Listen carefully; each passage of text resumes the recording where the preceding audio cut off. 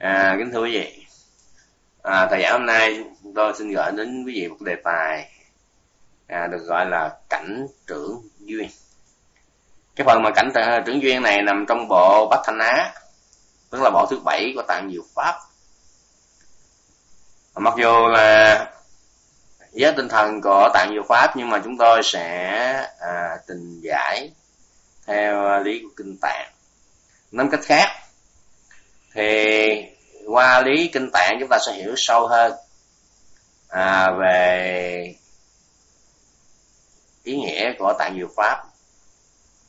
Ngược lại thì hiểu được cái ý nghĩa của tạng diệu pháp à, thì chúng ta sẽ lý giải rất nhiều câu phật ngôn à, với cái ngôn từ xúc tích của đức thế tôn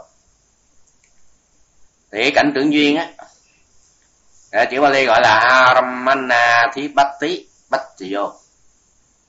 À, chúng ta tạm dịch là Aramana có nghĩa là cảnh. Thi Bách Tí à, là trưởng hay là chủ. Còn à, Bách trì Vô có nghĩa là duyên. Nhưng mà trước tiên là chúng ta phải hiểu những cái từ này. Mặc dù đã dịch ra là À, theo nghĩa là cảnh tưởng duyên. Nhưng mà chúng ta hiểu à, những cái từ như là cảnh là gì à, tưởng như thế nào và thế nào gọi là duyên. À, có nắm được từng từ như vậy đó thì chúng ta sẽ mới à, không có bị nhầm lẫn. Và từ đó chúng ta sẽ có những cái sự phân tích những cái chi pháp à, một cách rộng rãi hơn. À, xin thưa chữ cảnh thì phải hiểu rằng là nó có liên hệ đến tâm. À. bởi vì cảnh á, là đối tượng bị tâm biết. Hay nói cách khác đó nếu như không có cảnh thì không có tâm được. Bởi vì nguyên nhân mà sinh lên để mà tâm nó sinh khởi lên đó, thì nó có bốn thứ nhất là nghiệp quá khứ thứ hai là nó phải có cái tâm sở phối hợp thứ ba nó phải có cảnh. Cảnh. Tâm sinh ra là biết cảnh, mà nếu không có cảnh thì nó không có điều kiện để sinh lên như vậy cảnh là cái đối tượng để tâm biết. Ừ. Và nó cũng là một cái duyên để giúp cho nó tâm nó sinh khởi. Như vậy cảnh là điều kiện để tâm nó sinh khởi. Và nó bị tâm biết. Như vậy cái cảnh là chúng ta nghĩa như vậy. Cảnh là cái điều kiện để tâm nó sinh khởi. Và đồng thời nó bị cái tâm biết lấy à. À, cũng giống như một à, đứa bé nó sinh ra à, từ bà mẹ nhưng mà nó biết được bà mẹ không có bà mẹ thì sẽ không có đứa bé. Ngoại trừ trường hợp là thai sinh. À, xin lỗi là hóa sinh. Mà cho dù là hóa sinh đi chăng nữa à, cũng có à, cha mẹ. À, như là trường hợp vua trời đế thích nếu mà ai mà sinh ra ở đầu gối vua trời đế thích nó là con vua trời đế thích. À, thì sinh ra họ biết lấy cha mẹ mình à, đó là ý nghĩa của cảnh. Cảnh là điều kiện để tâm sinh ra và tâm đó biết lấy cảnh đó. Cũng giống như bà mẹ họ sinh ra đứa con nhưng đứa con biết rõ bà mẹ. Và chúng ta nói về cái cảnh rồi giờ chúng ta nói về cái trưởng atipati. À, thế nào gọi là trưởng? À, chữ atipati á à, nó còn có ý nghĩa là chủ nhân ở trưởng thì nó có ý nghĩa là cao tột hay là lớn nhất. Ừ. nó tựa giống như lãnh chúa ở trong một cái vùng đất của mình vậy. Ừ. hoặc như là đức vua ở trong một quốc độ mình. Và gọi là trưởng với ý nghĩa là nó dẫn dắt. Nó dẫn dắt đấy à, cảnh trưởng là cái cảnh nó sinh ra tâm nhưng mà đồng thời nó dẫn tâm đi. Tức là nó điều xử tâm. Ở chúng ta phải nắm bắt. Nó có hai loại cảnh. À, hai loại cảnh. Mỗi loại cảnh là để giúp sanh à, tâm sinh ra thôi. Và tâm biết cảnh đó. Nhưng mà nó không có khả năng hấp dẫn cái tâm dẫn dắt cái tâm đi. À đây là một loại cảnh bình thường. Nhưng mà loại gọi cảnh trưởng đó a thi bát tí à nó là cái chủ nhân đó. Ừ, a thi tí có nghĩa là chủ nhân đó. Thì nó chẳng những nó sinh ra mà tâm nó biết nó mà nó còn bị cái cảnh này dẫn dắt đi. À, nó còn tựa giống như là một ông chủ ra căn nhà mà có một nô lệ nào nó sinh ra trong gia tộc đó. Cái gã nô lệ mà sinh ra trong gia tộc đó đó. À thì nó biết rằng là nó À, làm nô lệ của gia tộc này. Và nó biết đó là ông chủ của nó là ai. Và mỗi khi mà ông chủ nó bảo nó làm việc gì đó nó phải làm à, công việc đó.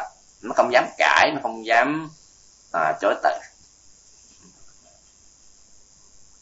Như vậy thì cái ông chủ đó chính là cảnh trưởng của cái gã nô lệ đó. Gã nô lệ nó sinh ra từ căn nhà của ông chủ đó là nô lệ của ông chủ đó. Mặc dù biết là ông chủ nhưng mà cái ông chủ bảo là việc này, là việc kia. À thì nó phải làm thế cũng vậy. Cảnh trưởng là cảnh đó, nó tạo ra điều kiện cho tâm sinh khởi và nó điều xử tâm đi. Tức là nói cách khác là tâm phải chạy theo cái hấp lực của cái cảnh đó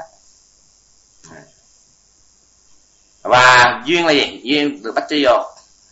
À, duyên có nghĩa là nó có một cái công năng hoặc là nó có phận sự là trợ sinh. Nó giúp đỡ cho sinh lên. Và hoặc là nó có một công uh, năng khác là nâng đỡ hay là ủng hộ. Nó cũng giống tựa giống như bà mẹ sinh ra đứa hài tử rồi bà mẹ chăm sóc hài tử cho nó nuôi dưỡng cho hài tử nó lớn lên thì bà mẹ thuật ngữ à, đông tạng diệu pháp được gọi là cái năng duyên. À, còn hai tử giống như là cái sở duyên. À, sở duyên được sinh ra từ cái năng duyên. Và được cái năng duyên trợ giúp hay nâng đỡ cho nó vững mạnh. Và cái sự mà trợ sinh hay là nâng đỡ đó thì thuật ngữ nhà Phật gọi là bách trì vô hay là duyên à, qua cái chúng ta định nghĩa được cái từ đó chúng ta nắm bắt. Như vậy cảnh tưởng duyên là cái cảnh đó nó sinh ra tâm rồi nó điều sử tâm tâm theo cái hấp lực của nó. Và đồng thời nó ủng hộ cho tâm nó được vững mạnh lên lớn lên. Đó là cái nghĩa đen của cái từ à, cảnh tưởng duyên và chúng ta sẽ phân tích để tìm hiểu. À, cảnh có hai loại là một loại cảnh thông thường. Và một loại thứ hai là cảnh trưởng. À, cảnh thông thường nó cũng giống như là nó cũng giúp cho tâm sinh lên vậy nhưng mà tâm nó sẽ không bị cái điều xử bởi cái cảnh đó.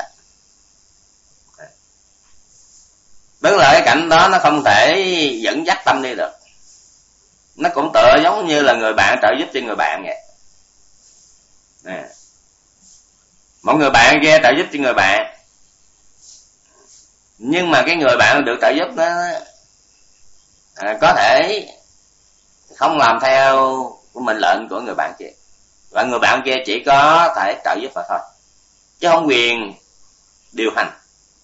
Không quyền sai sự. Đó là một loại cảnh bình thường thông thường. Nhưng mà cảnh tưởng nó khác đó à cảnh tưởng nó đã giúp sanh lên.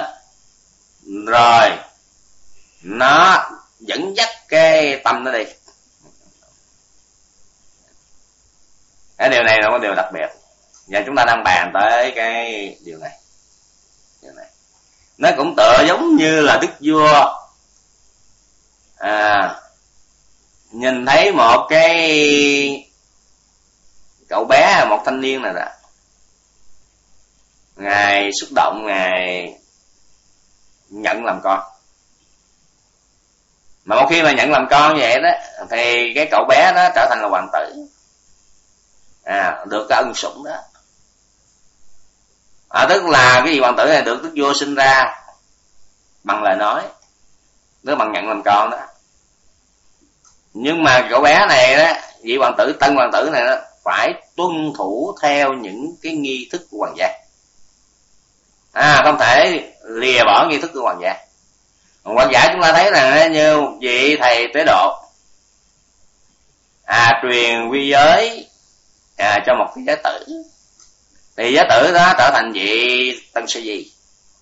Mà vị tân à, tân sư di này à, được sinh ra bằng pháp tức là được vị thầy tế độ à, truyền quy giới à, trở thành vị sa môn đó, được sinh ra bằng pháp mà sinh ra bằng pháp rồi đó thì vị sa di này phải tuân thủ theo những cái quy giới hay là quy luật của nhà chùa. À, hay là nội quy của đức phật. À, tức là giới luật của đức phật à, ban hành. Đó gọi là cảnh trưởng. Và có bao nhiêu loại cảnh trưởng? À, trước tiên chúng ta nói về cái cảnh cái đã. Cảnh thì nếu mà nói có một. À, cảnh nếu tính ra có một, thì đó là đối tượng bị tâm biết. Bất kỳ cái gì tâm biết thì cái đó thuộc về cảnh. Nếu mà phân tích theo hai, thì tâm có à quên cảnh có hai, tức là cảnh sắc pháp và cảnh danh pháp à, cảnh sắc pháp là những cái vật thể mà chúng ta nhận thức cũng như là sắc thinh hương vị xúc chẳng hạn. À, hoặc là những gì mà mắt chúng ta năm giác quan chúng ta tiếp chạm lại nó nảy sinh ra cái tâm để biết. Rồi danh pháp là những gì thuộc về bằng lĩnh vực tinh thần.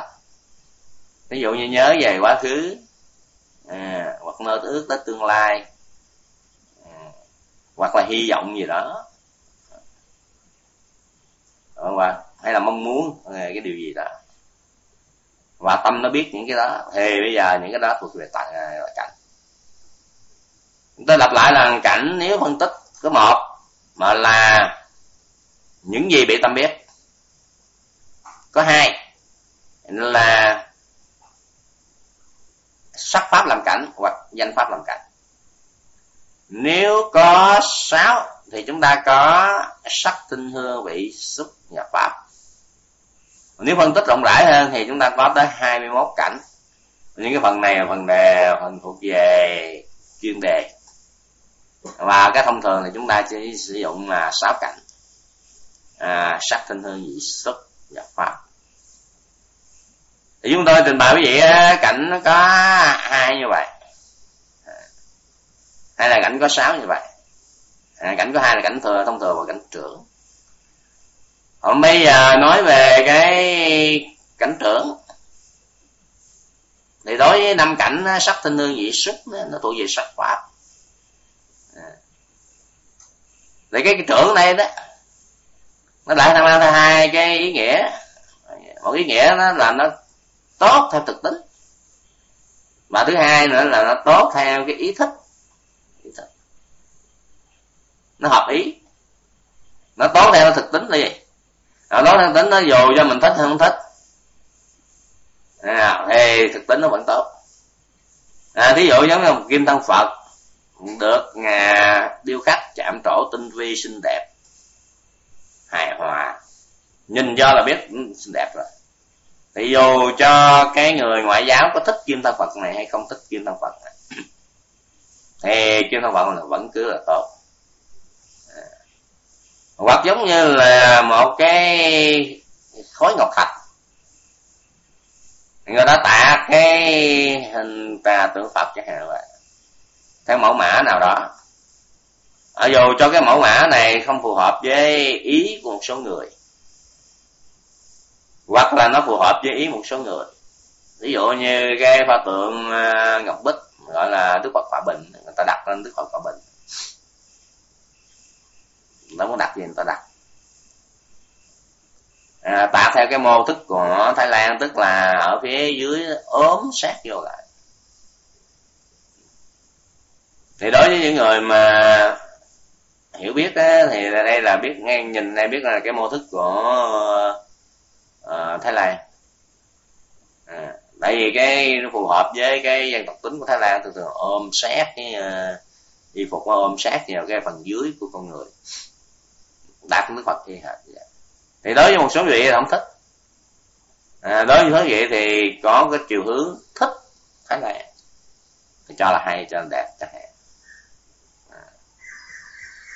thì cho dù là ừ, à, thích hay không thích thì ngọc bích vẫn cứ là ngọc bích. Chứ không phải gì thích hay là không thích mà ngọc bích nó chuyển đổi.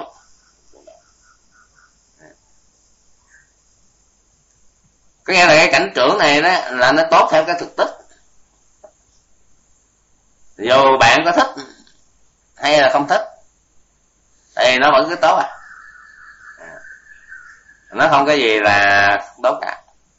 Ngọc bích vẫn cứ là ngọc bích tầm hương vẫn cứ tầm hương dù có thích tầm hương hay không thích tầm hương mùi thơm nó vẫn cứ thơm. Chứ không phải gì thích nó mà nó thơm mà không thích nó nó thối thì nó không có.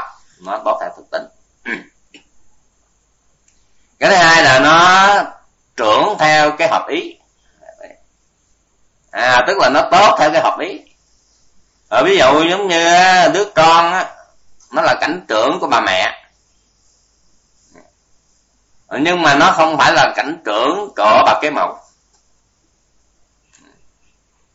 Cái hai tử này nó chỉ là vàng là ngọc của bà mẹ mà thôi nhưng mà nó sẽ là sỏi đá đối với bạc cây mẫu.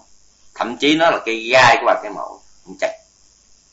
Và có thể là bà cái mẫu sẽ tìm cách giết đi cái hài tử này. Nhận thấy nó có gì nguy hại đến cho cái tương lai của bà hay là những cái lợi lộc của bà như vậy thì đứa bé này nó là cảnh trưởng cho bà mẹ.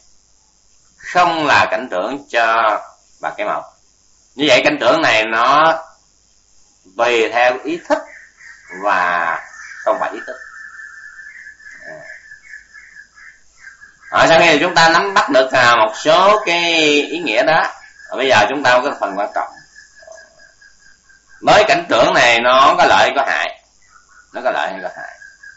À xin thưa, chúng tôi vừa phân tích quý vị à cảnh trưởng này có hai là phần sắc pháp và cái phần danh pháp ra dù phần mà sắc pháp á dù cho nó có hợp ý hay là nó tốt theo thực tính thì chăng nữa.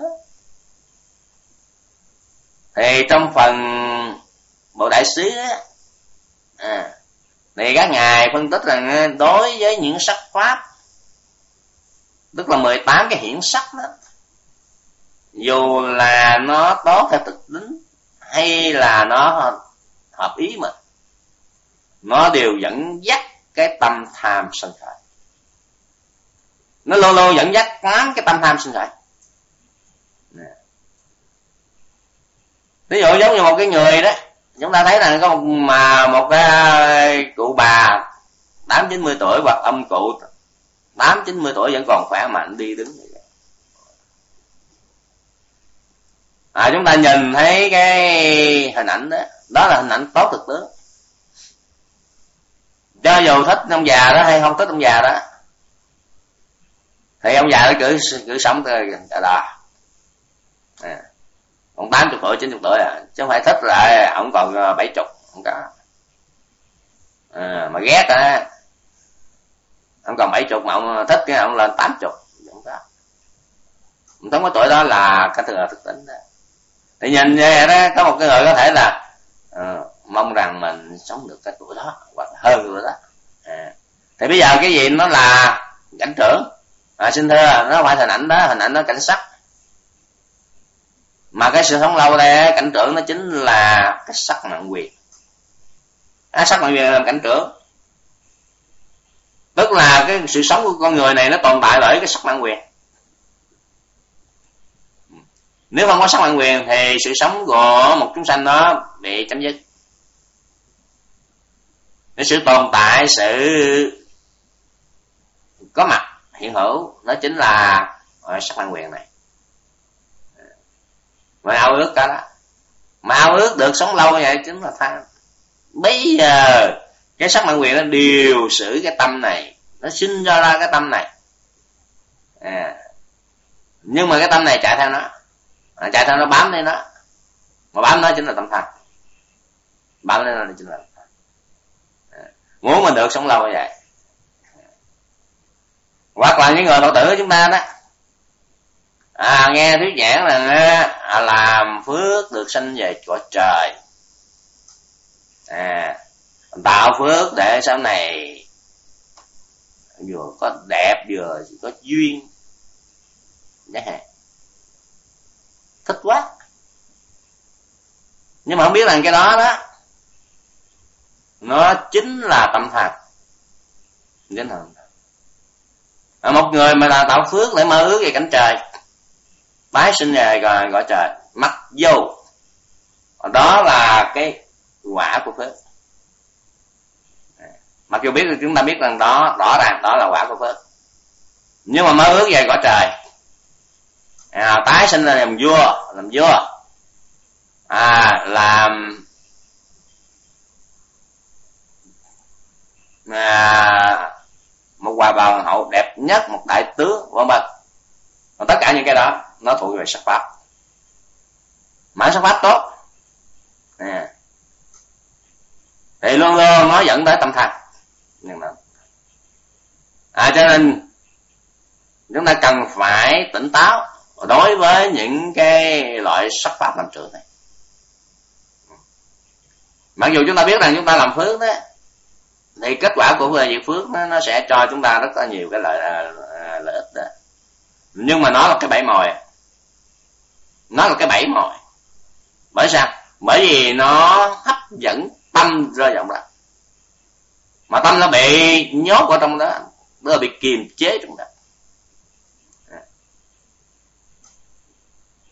Ờ, thì bị, nó sẽ bị ma vương, tức là cái phiền não ma vương nó nó trói, nó cột chặt.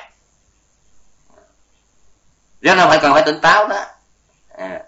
mặc dù lý nhân quả chúng ta biết rồi, tức là chúng ta tạo một việc phước, thì nó sẽ cho chúng ta có cái quả phước. Mà cái quả phước này đó, chúng ta nhận lấy. Nhưng mà giờ cái tâm của chúng ta đó mà nó có bị dính mắt hay không? À có bị cái cảnh này nó điều xử hay không? Bây giờ là chuyện làm của chúng ta. À, chứ không phải nghe thầy phật tử nghe mấy mấy ông sư thuyết nè. À, bố thí đi rồi cúng dường đi nữa sao vừa đẹp vừa có duyên vừa có đầy đủ tài sản. Thích quá. À, cứ làm cứ làm làm mà không biết rằng đang bị dụ dỗ rớt vào tâm thần rớt tâm thái. Nên là đầu tư một cái tâm tham ái mà cái sự giải thoát không thấy đâu á. Thấy bị dính mắt trong đó. Cho nên á, người phật tử chúng ta nó có trí á, thì phải tỉnh táo lại. À. và xin thưa quý vị rằng tất cả những cái sắc pháp dù rằng tốt thực tính hay là tốt hợp lý, nó đều hấp dẫn tám tâm thành tức là nói cách khác là nó trợ sinh cho tám năm thành tám năm là cho đức phật ngày dạy chúng ta sao? À. này chưa thì khưu nếu như những ngoại giáo nói rằng sa môn gotama thực hành phạm hạnh để mục đích được tái sinh lên thiên giới các ngươi có cảm thấy tuổi nhục và buồn phiền không? Mà tôi tôn có.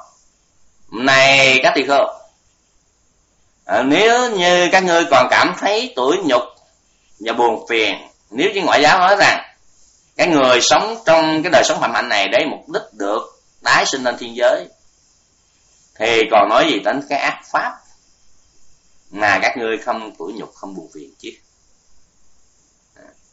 Còn tức là thì giờ làm việc phước đó sống đời sống phạm hạnh này thực hành giới định tuệ để mục đích để tái sinh thiên đó. À, để làm vua trời này làm vua trời kia đó mà ngoại giáo nói vậy ra càng cảm thấy tuổi nhục buồn phiền bởi vì con bị làm nô lệ à. sống tu hành để chi để bị làm nô lệ. Mà cái gì làm, làm nô lệ? Bởi chính là cái tâm tham. Nó bị cái tâm tham này nó sinh khởi nó diễn tiến thì dẫn dắt đi. Mà biết còn làm nô lệ. Thì chúng ta cảm thấy tu hành để mà làm nô lệ thì sao? Thì tuổi nhục buông phiền anh đã anh rồi. Thì nói chỉ tới cái ác pháp chứ. Nói chỉ ác pháp. Nó phải loại trừ cái ác pháp ra. Và loại trừ ác pháp đó, phải loại trừ cái tâm đắm nhiễm. Tâm đắm mà cái gì đắm nhiễm tham nhân chính là những cái sắc pháp tốt đó đó. Là đó. Nó có chạy theo, nó có chạy theo bởi vì chúng ta nói một cái điều nào đó hoặc chúng ta làm một điều gì đó đó là do tâm điều xử. Mà tâm nó điều xử là đành rồi nó nó bị mà cái tâm này nó bị cảnh nó điều xử nữa chứ. Mà chúng ta phải thấy nhân xa cho tới chút xíu. À, ra chút xíu. À. Đức Phật dạy rằng ý dẫn đầu các pháp ý làm chủ ý tạo. Nếu nói hay làm với ý ác thì quả khổ sẽ theo sau như bánh xe lăn theo chân nhật kẹo. À. câu thứ hai thì ngược lại thôi. À, như là hạnh phúc theo sau như bóng không rỡ nhưng cái hạnh phúc mà đức phật ngày dạy chúng ta đó nó không phải là hạnh phúc của cái hữu vi này. Mặc dù trong cái, cái ý nghĩa của cái lời kệ này á thì nó hàm xúc. À tức là cái hạnh phúc của hữu vi cũng có mà hạnh phúc của vô vi cũng có. Tức là cái hạnh phúc tối thượng lạc nhất tức là hạnh phúc của nước bạn cũng có. À, nhưng mà không phải là chúng ta bám theo cái hạnh phúc ờ, mà hữu vi này.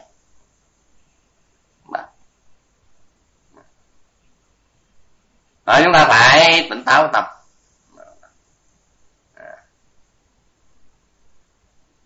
À, rất là nhiều người. Hồi xưa như ba tư nặc nằm mộng à thấy có người đem trầm hương à, những cái sữa à, những những cái sữa ngon bột đem ra ngã tư đường đánh đổi lấy những cái vật à, thấp kém. Ông vua ba tên cũng ngạc nhiên ngạc nhiên. À ông lo sợ cho cái điểm quốc độ này là nó không có uh, bị vững mạnh nó không được vững mạnh à cho nên mới à, đánh lễ trước thế tôn. Hỏi ra cái, cái điểm này như thế nào? Có ảnh hưởng gì quốc độ của cảm hay không? Nếu tôn này có dạy này đại dương điều này không có cái gì mà ảnh hưởng tới quốc độ của đại dương cả. Nhưng đây là điềm báo á, sau này á, đệ tử của như lai đó đem giáo pháp của như lai đem rao bán ở ngã tư đường. Đem rao bán. Tức là những cái pháp giải thoát của như lai dạy đó không dạy. À, mà đi ra bán. Đi ra bán. Rao giảng để kêu gọi. Rao giảng à để sân. Điều này có rồi. Hai ngàn năm năm hai hơn hai ngàn năm năm năm trước có rồi. À, cho nên coi phật tử mới giờ hỏi chúng tôi tôi nói cái này chỉ là thường. Nhưng không có gì lạ hết. Hai ngàn năm năm năm trước đã có rồi. À, nói tôi chỉ là bình thường. Không có gì quan trọng. À. rồi xin thưa. Đấy, chúng ta phải nhớ là đối với sắc tinh hương dị xúc mỗi khi nó hợp ý chúng ta đó nó cũng tạo tâm tham. Cho dù rằng đó là một miếng chào cái cái vật mà chúng ta chưa có thấy cái tầm nguy hại nữa nhưng mà nó sẽ lớn là rất lớn. À xin lỗi vậy. Khi mà đức thế tôn ngài tế độ được. Tên cướp Angulimala. Tức là ngài Á Hình xá sau này, tức là ngài vô hại sau này.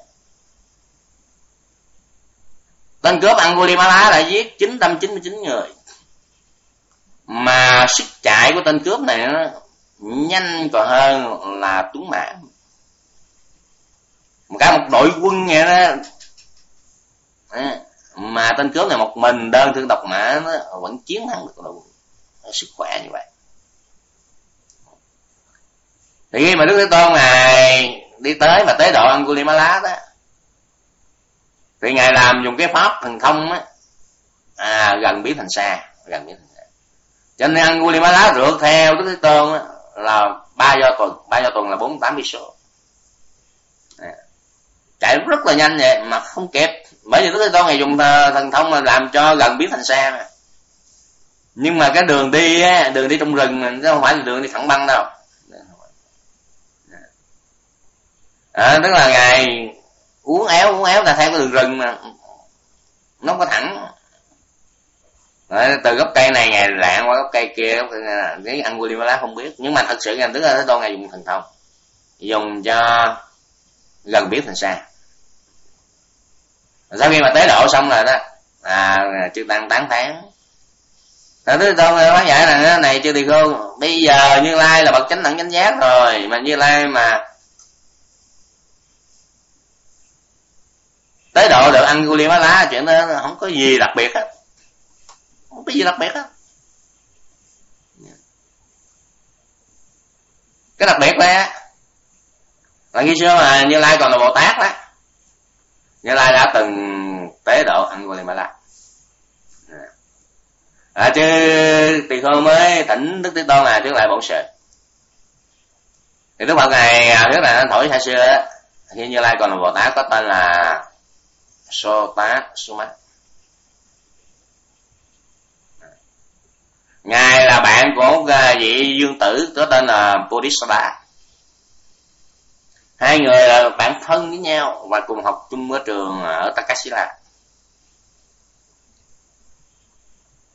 Thì khi á mà còn học á à thái tử bodhisattva mới nói rằng à, này bạn khi mà tôi lên được à, nối ngay, ngay vua rồi đó tôi sẽ ban cho bạn. À, là một cái chức gọi là Purohita tức là cố vấn đại thần đại khái là quân sư.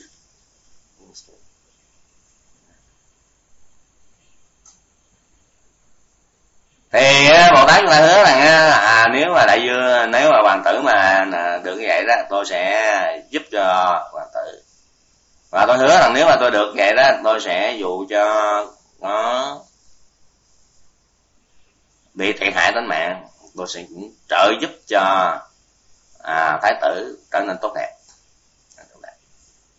Ở về sau thật sự này dương tử bodhisattva lên làm vua. Và đặt một tá chúng ta vào thì vậy là purohita tức là cố vấn đại thần. Thì vô Bodhisattva đó có một cái nhược điểm là cái bữa cơm này mà không có thịt đó là ông dùng không được à, dùng không được.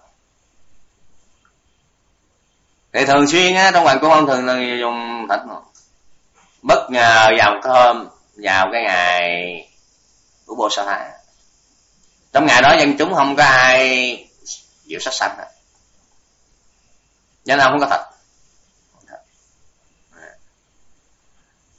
Vậy bây giờ không có thịt rồi cứ vô ăn không được. Thì nói chỗ này thịt đó chính là cái cảnh trưởng uh, à, vua đó. Cảnh vua. Không có là thịt là đức à, vua Bodhisattva chịu không được.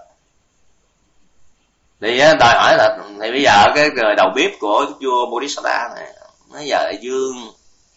Không có thịt ăn cơm. Là dùng cơm không được. Rồi nó đi lanh quanh đi kiếm thịt. Nó bất ngờ đi ra cái pháp trường thì trong pháp luật nó đang xử tử đang giết chết là một cái tội nhân. Cái người đầu bếp nói là có thịt rồi nó sát chết mà. Cho nên mới lấy một, một ít thịt ừ, đùi thịt ngon à, cộng thêm một cái số đồ lòng chẳng hạn vậy. Mà với ngày nghệ thuật của người đầu bếp mà biến chế. Đem món thịt lên vô ăn sao ngon quá hỏi cái này khách cái từ trước giờ ta chưa ăn cái món nào mà ngon như vậy hết á cái thịt mà khanh làm là thịt gì á? Cái rồi đầu bếp nói đại dương biết ăn được rồi, đừng có hỏi. Nhưng ông cứ vô cái tò mò tò mò hỏi, buộc lòng á. Cái rồi đầu bếp nó nói à thưa đại dương, đó là thịt người à, nó vô nó ồ thịt người ngon vậy ta trước giờ ta chưa ăn lần nào mà ăn, ăn quá ngon vậy à. rồi kể từ nay làm thịt người cho ta. À, bây giờ thịt người đó là cảnh trưởng đó. À. cái vị chất đó là cảnh trưởng đó. À. và đức vô cái bây giờ không không có thịt người muốn có thịt người ăn thì sao? Thì trước tiên là giết tội nhân cái đã. Cứ ngày cái đem một cái người tội nhân hành hình. Giết à. tội lớn là giết là đã thành rồi. Là tội đâu ta ta hết tội lớn là nó bắt đầu giết tới cái tội trung bình. Đó, trung bình xong lại giết tới tội nhỏ. Rồi sau này ai bất kỳ vi phạm vào mình bị bắt thôi á. À, bị tử hình. Dân chúng sợ quá ráng sống trong đúng luật pháp. Không dám vi phạm dù dù một tội nhỏ cũng không dám nó biết là nó còn tội nhân nữa giết. Mà cái món ăn nó cứ thèm hoài thèm hoài thèm hoài. Thèm hoài. À nó bây giờ đó, chịu đựng không nói. Tối rồi nó mới bàn với cái người đầu bếp mình á. Lẻn trốn ra khỏi hoàn thành. À, đi tìm được người. Đầu tiên á, thì giết mấy đứa nhỏ đi lang thang. À, lấy thịt đem dạng mà thịt tướng nhỏ ngon nữa chứ. À, mềm. Riết lại giết tới những người lớn. Thì trong hoàng cung á, đồn á, là có một tên cướp sát nhân. Nó rất là giỏi giỏi. À, thường xuyên xuất hiện đi giết người. À, báo cho triều đình. Triều đình cũng cho quan quân rồi đi truy lùng. À, nhưng mà thực tế là ông vua này bồ tát chúng ta đó nó ngẫm nghĩ cái chuyện này chắc do do là gì? Do do bodhisattva này thôi à cho nên bồ tát của chúng ta đó, mới với trí thông minh mình mới đi vào trong bằng cung xem xét. Tôi thấy có một cái đường mòn.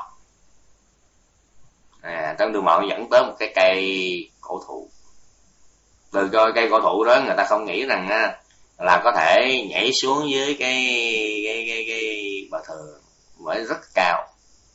Nhưng bồ tát nói đối với tài nghệ của vua bodhisattva thì cái chuyện này quá bình thường. À. à. cho nên ngài mới chăn bẫy đó đặt lưới sắt. Và dĩ nhiên là vua bodhisattva rớt vào bẫy của bồ tát bồ tát bắt được, té ra cái tên trộm mà, cái tên cướp mà mỗi đêm đi giết người để mà lấy thịt ăn chính là đức vua nhưng chúng phản đối. Rồi giết đức vua bodhisattva. Thì bồ tát mới can ngang à nói là hãy dị tình bồ tát này, hãy tha chết cho vua bodhisattva. Cái dân chúng mới nói là bây giờ là chúng tôi cũng nghe lời à, có cơ quan cố vấn đại thần sẽ xa ra chết cho vua bodhisattva vẫn tôn trọng vua bodhisattva. Bởi vì ngoài cái nhiệt điểm này á ông rất là một vị minh quân rất là tốt. À.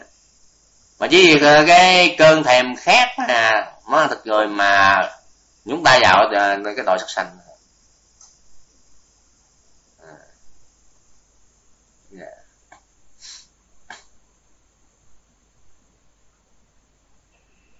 Bây giờ thì dân chúng nói là bây giờ chúng tôi vẫn tôn kính đại dương với hai với mà, mà à, đại dương sẽ chọn hai đường. Một đại dương sẽ tiếp tục làm vua với điều kiện là đại dương từ bỏ cái ăn thịt người này. Và hứa là, là từ bỏ này. Nè hai là đại dương phải, chúng ta bằng lòng tha chết cho đại dương. Nhưng mà phải trục xuất ờ, ờ, đại dương, ra khỏi hoàn thành. Và đại dương chọn một trong hai. Vua Bodhisattva nói thôi giờ ta chọn cái đường thứ hai. Ta bằng lòng lè bỏ ngay vua. Lè bỏ cái dương quyền ta phải ăn thịt người à, vắng thịt người là chịu không được. Ta phải chết thôi. Không có thịt người là ta phải chết thôi. À. Rồi bồ tát tẩn xuất ra khỏi hoàn thành. Đi thật xa ông trú trong rừng. À, mang theo cái người đầu bếp để nấu ăn. Và những cái khách nào đi ngang qua đường là ông chặn làm giết hết. Để thật. À, bồ tát biết ông à, đó là không có cho quân nó truy sát để giữ lời hứa mà. Lâu dần là khách thương, cô không dám đi qua cái khu rừng đó. Gọi vua Bodhisattva không có thịt ăn ông giết luôn cái đầu bếp mình, lấy thịt ăn luôn. Mà trở nên là không ăn mà dân chúng nó ta thấy quá, cái bồ tát nó nói nó ngẫm nghĩ là ta ngày xưa ta có hứa nó có hứa. Mà với vua Bodhisattva đó là phải trợ giúp vua Bodhisattva mà bây giờ vậy đó mà ta không giữ lời hứa là ta không phải là chính nhân quân tử. Ta còn tham luyến cái mạng sống này mà quên bỏ lời hứa là không được. Cho nên bồ tát chúng ta đó, mới bỏ bằng công đi vô trong rừng, tìm vua bodhisattva. Mà tài tài nghệ của bồ tát chúng ta đó không có thua kém vô Borussia bodhisattva đâu.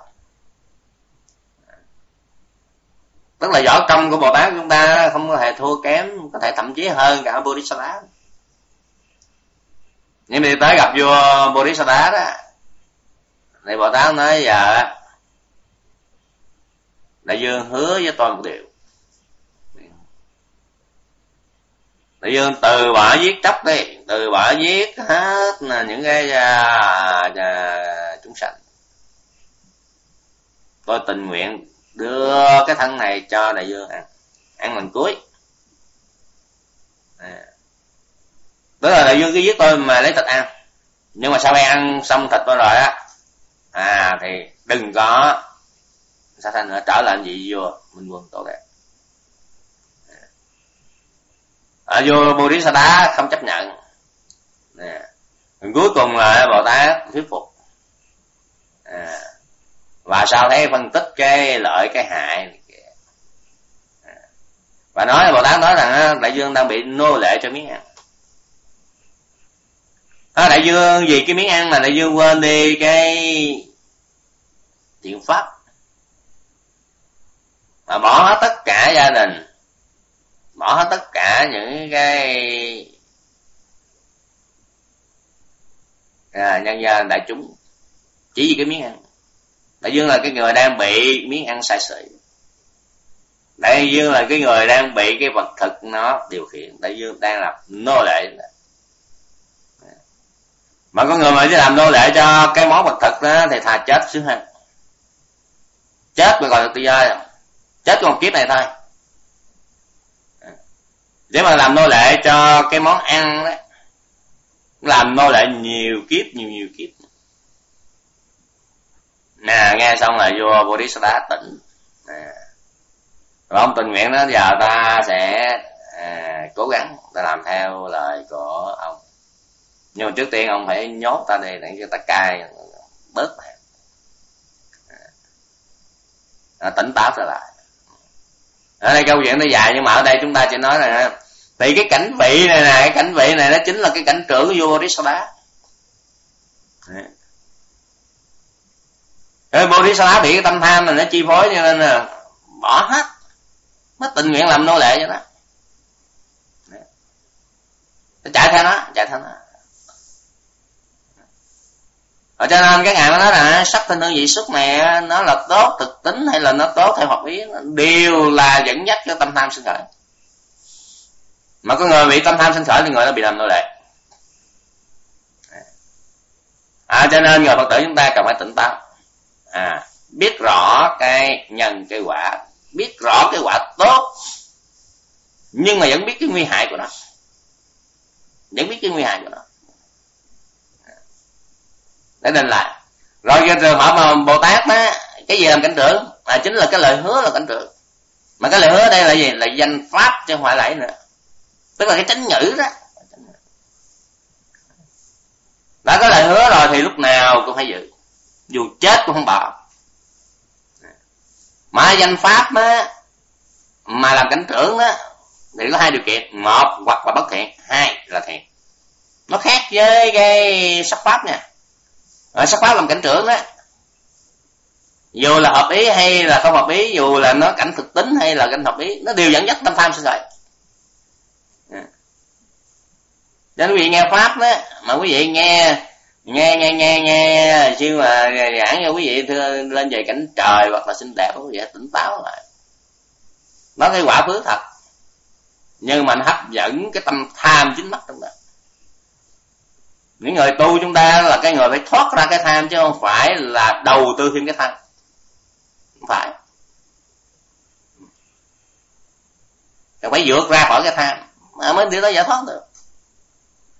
À, phần đông thì chạy theo tham. Nhưng phải cảnh tỉnh để chấm dứt cái tham ở giờ về danh pháp nó có hai loại. Một loại có thể là tham. Nè. Một cái loại một loại thứ hai á, thì nó có thể không tham. Nhưng bồ tát chúng ta đó ở vì cái lời hứa tức là cái chánh ngữ. Nè cái chánh ngữ. À, chết cũng không từ nan nữa. Nè. Thì cái chánh ngữ này nó trở thành là chân thật ba mặt hứa rồi mà chết cũng không có lui bước nữa. Mà giúp cho này giúp, giúp cho vô bodhisattva nó từ cái xấu trở thành cái tốt. Tức là tới độ vô bodhisattva bằng cái pháp chân thật. Rồi về sau này thì chính thức là tới tô ngài cũng tới độ Angulimala bằng pháp chân thật. Này Angulimala chính người đang chạy như lai đang nhìn khi mà Angulimala nói này ông sa môn đứng lại. Này Angulimala như la đã đứng từ lâu rồi còn ngươi đang chạy đó. À. Angulimala ngạc nhiên này ông ông sa môn nói dối ta không nói dối. Những cái ác nghiệp ta đã dừng lại từ lâu rồi những bất thiện ta đã dừng lại từ lâu rồi còn ngươi đang chạy. Ngươi đang chạy. À, ngươi đang chạy theo tham đó người ta chạy nó ác nghiệp nữa. Tỉnh táo lên à, rồi quỳ sập xuống. À, nghe câu pháp chứng quả gì lâu. À, cho nên cái cảnh tự duyên này nếu nói về danh pháp chúng ta phải nghĩ tới danh pháp. Chúng ta nghĩ tới cái phước chứ không phải nghĩ tới cái quả phước. Nó nhớ. À, nhân quả là đã đành rồi. Ừ cho nên cái cải tạo là được cái cái cái cái tri kiến đúng đắn của mình đó là một điều rất là quan trọng. Dạ. Và chúng ta nhìn lại cái tri kiến của mình. Mà nhìn lại tri kiến mình á là chúng ta cần phải có ba loại trí à, có ba loại trí trí thứ nhất á phải hiểu rõ là cái khổ tập diệt đạo. Nó đây rồi, cái trí mà hiểu được cái khổ tập diệt đạo nó nó chỉ là thấp kém. Cái trí nào mà hiểu được khổ tập diệt đạo đó là thấp kém. Chứ không phải là trí mà hiểu được khổ tập diệt đạo là siêu đẳng đâu chưa? Chưa có siêu đẳng. À. cái trí thứ hai được trung bình đấy ngoài hiểu được mà khổ tập diệt đạo rồi đó. À. thì còn phải hiểu ra nữa, cái phần sự của khổ tập diệt đạo phải như thế nào? Thì khổ đế cần phải thắng tri. Cái khổ này phải hiểu cao tột. Tập đế cần phải đoạn từ hiểu được nguyên nhân sanh ra khổ là do tham. Hiểu đó có việc được tham đâu cái gì mà do tham dẫn tới là đau khổ? Hiểu được như vậy, tham vẫn còn y nguyên. Tham chưa có bể được cái chút nào hết á. Nó còn một khối đó đó. Cho nên chúng ta nói rằng cái hiểu được cái khổ tập diệt đạo đó là còn thấp kém. Đây là khổ, đây là nguyên nhân sinh khổ, đây là sự diệt khổ, đây là con đường nữa tới sự diệt khổ. Hiểu được như vậy. Nó so với người khác là tốt lắm rồi nhưng mà đối với nhà phật nó vẫn còn kém. Chưa là gì hết chưa là gì hết. À, nó chưa là gì hết. Nó tại sao nó đây là khổ biết khổ. Đây là nguyên nhân sanh khổ đây biết nhân sanh khổ. Nó là ai? Biết đây là sự diệt khổ là niết bàn. Biết đây là con đường đưa tới sự diệt khổ đó là bát chánh đạo biết mà không thực hành thì có bao giờ mà vượt được khổ đâu. Biết giới định tuệ là tốt, là con đường độc nhất dẫn tới niết bàn. Rồi giới định tuệ là một con đường do đức thế tôn mà tìm ra hay đức như lai tìm ra. Đấy là con đường cổ xưa của chư phật. Rồi trong tương lai, phật tương lai cũng đi trên con đường này. Nó khác được nó hiểu được vậy nhưng mà không thực hành nữa. Thì nó có lợi gì đó nó thành lợi à trí thứ hai đó cũng dạng trung bình đó là sao? À, là khổ đế này cần phải thắng tri tức là hiểu cao tột. Tập đế này cần phải diệt trừ. Tức là cái ái này hay là cái tham này phải cắt bỏ rồi diệt đế tức là niết bàn cần phải tác chứng. Đắc được. Rồi, đạo đế này cần phải tu tập hay là tu tiến, là vẫn tiến triển nhưng mà tới đây cũng vẫn chỉ là trung bình, chứ chưa phải là cao tổ. Tức là cái trí này là trí thứ hai là so trí thứ nhất nữa là nó vượt xa ra rồi, mà trong phật giáo à đức phật ngài cũng vậy, này tí bình thường. Các con ơi tí này bình thường chưa là gì hết các con ơi. Không còn nữa. Nè. Là trí này trí thứ ba đó là khổ đế thắng ti, ta đã thắng ti, phải biết rõ vậy. Đã thắng ti, ta đã thắng ti, tập đế cần phải đoạn trừ ta đã đoạn trừ. Diệt đế cần phải tác chứng ta đã tác chứng. Đạo đế cần phải tu tiến ta đã tu tiến. Ba luân mười hai thể của bài kinh chuyển pháp luật. À tức là ba cái vòng quay với mười hai thể đó. Ba bánh xe với mười hai thể. Thì các bạn nói bao giờ mà khổ đế à, cần phải thắng trì như lai chưa thắng trì tập đế cần phải đoạn trừ, như lai biết rằng chưa đoạn trừ. Diệt đế cần phải tác chứng, mà như lai biết rằng chưa tác chứng. Đạo đế cần phải tu tiến, mà như lai biết rằng chưa tu tiến trọn vẹn.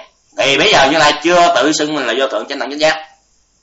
Nhưng mà này, các thầy thì cô tức là năm ngày chiều như đó khổ đế cần phải thắng tri, như lai đã thắng tri. Tập đế cần phải đoạn trừ, như lai đã đoạn trừ. Diệt đế cần phải tác chứng, như lai đã tác chứng. Đạo đế cần phải tu tiến, như lai đã tu tiến. Này chứ thì không như lai mới tự xưng mình là vô thượng chánh đẳng giác.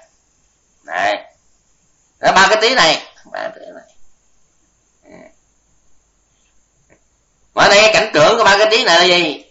À, cảnh tượng của ba, ba cái tí này nó chính là con đường bát chánh tức là giới định tuệ. Giới định dẫn dắt đi. Làm sao cho giới dẫn dắt cái tâm đi? Theo đường giới. Định dẫn dắt tâm theo cái đường định. Ừ. Mà định phải buông bỏ định là phải buông bỏ tham dục tức là không có màng tới sắc tinh hư dị xúc những pháp cả là cái bắt đó à. rồi. Tuệ này. À, tâm này phải do tuệ quán dẫn đi. Thì bác chánh đạo này chính là danh pháp danh pháp nó làm cảnh trưởng cho cái tâm này. Tâm này bị dẫn dắt theo con đường bác chánh. Tâm này bị giới dẫn đi ừ tâm này bị định dẫn đi tâm này bị tuệ dẫn đi bạn cuối cùng đi tới đâu? Đi tới cái điểm cuối cùng của con đường bát chánh. Tức là múc của con đường tử sinh. Thì đó chính là niết bàn, mà niết bàn là cảnh trưởng cho tâm đạo hay tâm quả siêu thể nó là cảnh trưởng cho tâm đạo siêu thể chấm dứt cắt đi mà à. Cho nên khi mà chúng tôi về trình bày vậy phân tích cho quý vị nên nắm bắt là là đối với sắc tinh hương vị xuất pháp mà nếu mà trở thành cảnh trưởng thì nó dẫn dắt tới tâm tham. Xin lỗi à, à, sắc pháp mà làm cảnh đó, tức là sắc tinh hương vị xúc á. Mà làm cảnh trưởng á dù hợp ý hay là tốt theo thực tính đều dẫn dắt tới tâm tham. À. còn danh pháp làm cảnh á à thì chúng ta chọn cái danh pháp nào? Chọn danh pháp nào để tâm nó bị dẫn dắt theo cái loại danh pháp đó? Mà danh pháp tốt nhất á nó chính là giới là định là tuệ. Nó dẫn dắt tới đâu? Nó dẫn dắt đi theo cái đạo lộ này. Rồi tới một cái, cái cảnh trưởng tốt nữa. Đấu theo thực tính luôn hoặc là đấu theo thích ý. Đó là niết bàn. Chắc chắn là nếu phỏng vấn quý vị thì quý vị sẽ nói có thích nước bạn dạ thích chứ sao chắc chắn vậy nên đi tới nước bạn đi, để có cái cảnh trưởng của tâm đạo chúng ta quên đi chúng ta quên đi những gì của phù du của thế gian à. chúng ta không để bị thế gian nó cuốn hút theo không bị thế gian nó quyến rũ à. chúng ta không phải là người đi mua pháp ở giữa ngã tư đường không có à. không có đi mua pháp ở giữa người ta đi bán pháp ở ngã tư đường chuyện của người ta quý vị đừng mua. Đừng mua pháp ở ngã tư đường. Mà chúng ta có trong cảnh trưởng nó là ở gia đình tuệ. Gia đình tuệ. À, đó là cái cảnh tốt nhất. Còn sắc tinh hương vị sốc xin biết nó bình thường. Thôi. Và mỗi khi làm việc phước không nghĩ tới quả của phước và nghĩ tới cái sự an lạc. Nếu được trui rèn ở trong cái phước tốt đẹp nhất đó là cái phước nhằm nó chấm dứt cái nghiệp tham ái. Mà phước chấm dứt nghiệp tham ái chính là giới định tuệ.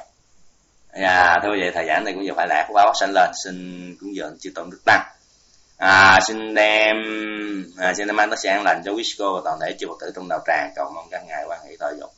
À, sau khi à, thời dụng rồi xin à, hân hoan với giáo pháp à, tỉnh táo trong cái đường tu tập chúng ta.